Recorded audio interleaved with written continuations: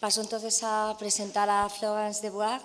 Ella es consultora experta en medios de comunicación de colaboración dedicados a la ayuda de organizaciones apoyando a proyectos, sitios, wiki eh, y, eh, por otro lado, fue elegida representante del Consejo de la Fundación Wikipedia durante cuatro años y presidenta del mismo del año 2004-2008.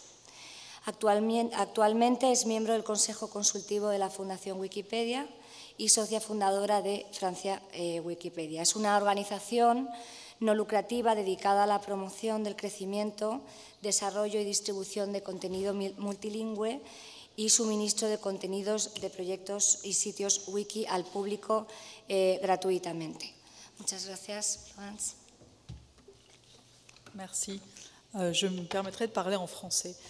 Euh, je souhaiterais d'abord remercier le, ministère de la Culture ainsi que le personnel de la bibliothèque qui nous accueille aujourd'hui, très très sympathique. Euh, j'ai été très intéressée par les différentes discussions d'aujourd'hui et c'est vrai que j'offre une, approche qui est un petit peu différente. Alors je voudrais d'abord vous rappeler très rapidement ce qu'est le projet Wikipédia et puis vous expliquer comment nous participons à la préservation et à la dissémination des œuvres en partenariat avec des institutions culturelles. Et puis je voudrais conclure en évoquant un problème lié à la propriété intellectuelle euh, qui nous tient particulièrement à cœur et qui revient plutôt aux, thématiques et aux problèmes que nous avons évoqués ce matin. Alors, je suppose que vous avez tous entendu parler de Wikipédia, qui est aujourd'hui le, cinquième site le, plus visité au monde, avec à peu près 250 millions euh, de visiteurs uniques par mois, soit à peu près un tiers des internautes.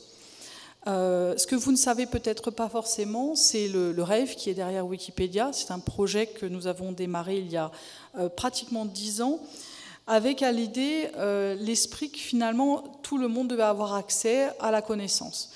Et pour avoir accès à la connaissance, il existe un certain nombre de barrières, parmi lesquelles une barrière d'ordre physique, c'est-à-dire que tout le monde n'a pas forcément accès à une université, à une bibliothèque ou à un musée. Euh, nous sommes plutôt chanceux pour ça en, France ou en Espagne. Euh, il existe également des barrières importantes qui sont des barrières financières. Tout le monde n'a pas les moyens de s'acheter une encyclopédie. Et puis il existe des, barrières linguistiques.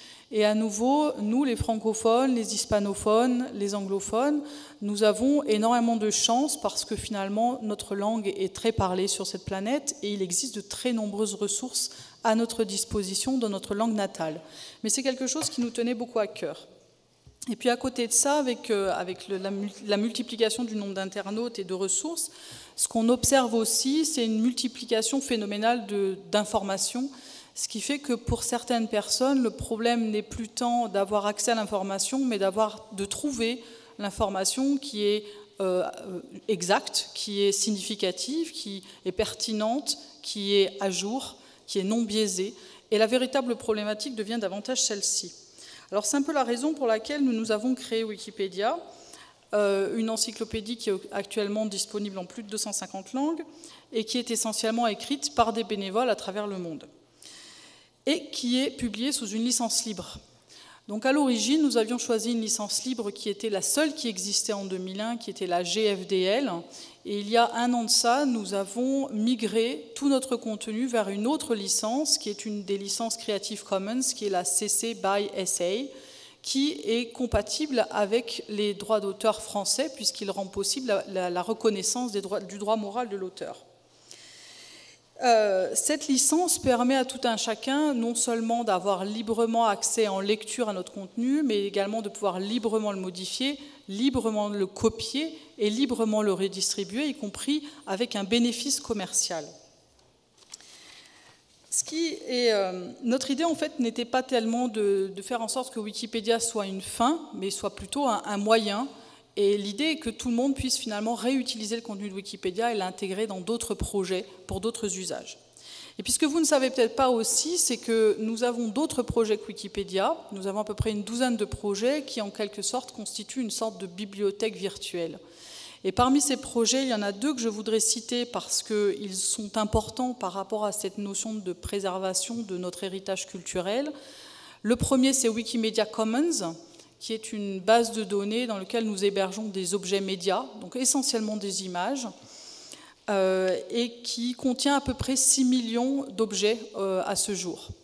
Et parmi ces 6 millions d'objets, il y en a énormément qui sont des images qui sont issues du gouvernement américain, puisque celui-ci euh, publie toutes les informations qui sont produites par le gouvernement dans le domaine public.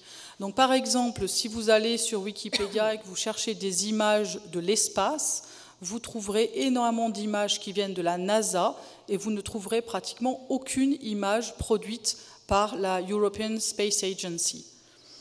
Ce qui est un premier problème. Cependant, d'autres gouvernements ont choisi un peu cette direction, et notamment en 2008, le Bundestag a libéré, a publié sous licence libre 100 000 images de ces archives, de façon à ce que nous puissions les intégrer sur notre projet. Un deuxième exemple de projet qui joue un rôle direct, c'est le projet Wikisource. Le projet Wikisource est aussi un projet multilingue et il a, comme objectif d'être un endroit où nous puissions archiver euh, des textes de référence, euh, euh, des textes classiques, des lois, des chartes, en gros, toutes sortes de textes qui sont soit sous licence libre, soit dans le domaine public. Donc là, on parle typiquement de vos, ressources, des ressources que vous cherchez à numériser et qui sont déjà dans le domaine public. Euh, ces textes, aujourd'hui, dans les, cinq premières années d'existence de, Wikipédia, finalement, nous avons été euh, euh, complètement mis de côté, laissés de, de côté par les institutions culturelles. Et ce qu'on observe, c'est que la situation est en train de changer et qu'aujourd'hui on n'est plus vraiment dans une situation où nous nous contentons de parler, d'échanger, de discuter avec euh, les institutions culturelles, mais on arrive aussi à une situation où on établit des partenariats, où on commence à travailler en coopération avec des musées, avec des bibliothèques, avec des universités. Il y a, je pense, beaucoup de raisons à ça. Parmi les, premières raisons, c'est que nous sommes probablement la ressource culturelle qui est la plus lue dans le monde et qui est maintenant très souvent utilisée comme hub. Euh, c'est-à-dire que les gens viennent d'abord sur Wikipédia pour consulter un sujet et ensuite euh, évoluent en suivant les liens. Euh, une deuxième raison, c'est que nous avons énormément d'utilisateurs qui ne sont pas allés à l'université, qui ne rentrent pas dans les musées, qui ne vont pas dans les bibliothèques, qui n'achètent pas des ouvrages de référence, mais qui néanmoins viennent sur Wikipédia. Et donc, nous avons eu un, rôle un petit peu de, Nous avons aidé à démocratiser, je dirais, la connaissance encyclopédique. Et puis la dernière chose, c'est qu'on a un potentiel humain qui est assez fantastique, euh, potentiel humain qui fait qu'on peut se passer de, de, financement tel que vous pouvez en avoir besoin et pour autant fournir un travail phénoménal. Alors je vais vous citer trois exemples de situations dans lesquelles nous, devenons partenaires avec des institutions euh, publiques. Premier exemple, et c'en est un parmi d'autres, c'est de l'autre côté de, de, l'océan, c'est aux États-Unis. Euh, nous avons une initiative qui s'appelle le WSPA, Wikipedia Safe Public Art, qui a été démarrée par l'Université d'Indianapolis en collaboration avec le Museum of Art of Indianapolis qui ont commencé à améliorer les articles et à prendre énormément de photos, de sculptures, de bâtiments qui se trouvent à Indianapolis. Et puis cette initiative a un petit peu s'est étendue à d'autres musées. Il doit y avoir maintenant une vingtaine de musées qui participent à cette action et qui essayent de, conserver une partie du patrimoine directement dans Wikipédia.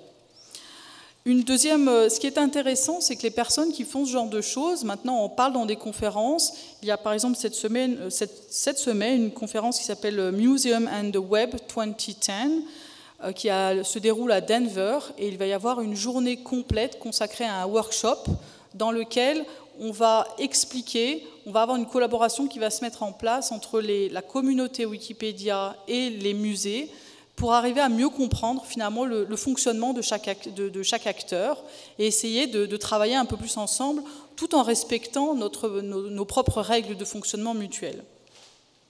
Le deuxième exemple, on, traverse l'océan et on revient en Europe, à en Angleterre. Euh, nous avons très récemment appris qu'un Wikipédien serait accueilli pendant plusieurs semaines par le British Museum comme euh, Wikipédia et euh, Wiki, Volunteer in Residence euh, in-house volunteers, euh, pour avoir aussi la possibilité non seulement d'apprendre du musée, d'apprendre des expertises locales et d'apprendre des, techniques qui sont employées par les personnes travaillant dans les musées, et puis d'un autre côté, expliquer au personnel du musée la façon dont nous, nous travaillons sur Wikipédia. Donc des échanges qui se mettent en place. Et puis le dernier exemple, il est extrêmement récent. euh, c'est un, accord qui a été signé entre la Bibliothèque nationale de France et, Wikimedia France autour de 1400 textes qui ont été euh, numérisés et ossérisés et qui sont actuellement disponibles dans Gallica, qui sont dans le domaine public et qui vont être mis à disposition sur Wikisource avec la possibilité pour chaque internaute présent sur Wikisource d'aider à la correction des erreurs de la numérisation.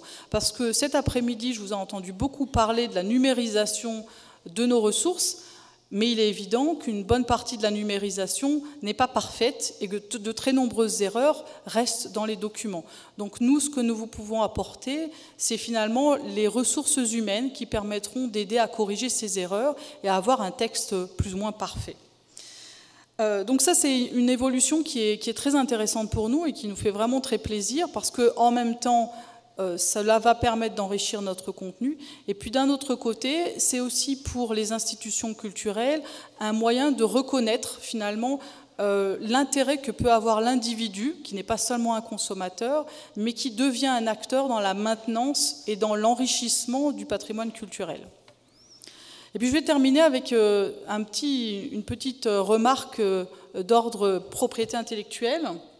Nous avons été contactés en février 2010 par les éditions Gallimard qui nous ont demandé de supprimer de notre base de données Wikisource des dizaines et des dizaines de documents. Ces documents sont tous issus d'auteurs euh, vous en connaîtrez certains, au moins les francophones, par exemple Éluard, Gide, Giono, Valérie, Apollinaire, Charles Péguy, et j'en passe, il y en a une douzaine. Ce sont toutes des personnes qui sont mortes pendant la Première ou la Seconde Guerre mondiale. Je vais prendre l'exemple de M. Apollinaire, qui est décédé en 1918. Eh bien, selon les lois françaises, les œuvres de M. Apollinaire, en tout cas selon certains juristes, ne seront pas dans le domaine public avant 2032 c'est-à-dire 114 ans après le décès de M. Apollinaire.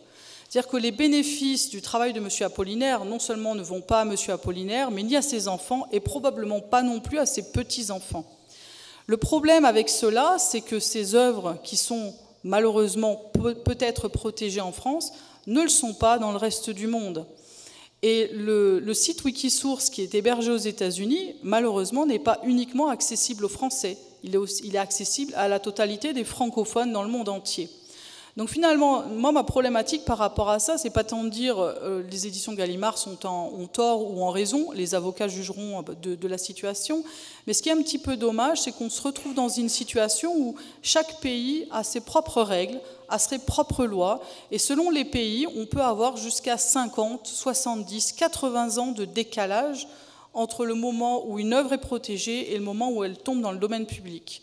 Et pour des gens qui, comme nous, essayons de, bah, de travailler et de respecter les droits d'auteur, parce que c'est quelque chose de très important pour nous, et qui en même temps voulons aider à la dissémination des œuvres, eh ça finit par faire quelque chose d'extrêmement compliqué.